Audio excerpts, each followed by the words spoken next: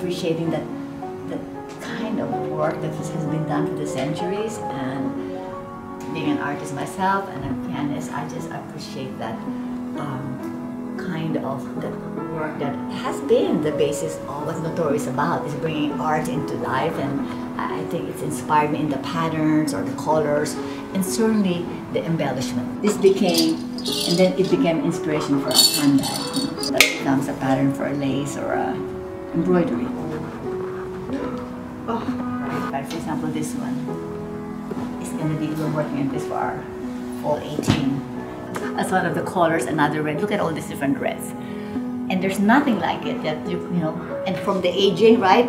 How to get that patina becomes a real challenge. But and then we'll figure out and scan this and interpret it in our way. And I think this this antiquities that I bought, I've enjoyed being able to interpret it that you can wear it for everyday life. So you're not just looking at a museum where you have to find it in a so so in a way, you know, it's it's been um, a great point of differentiation. I, I just am in awe of how people lived before.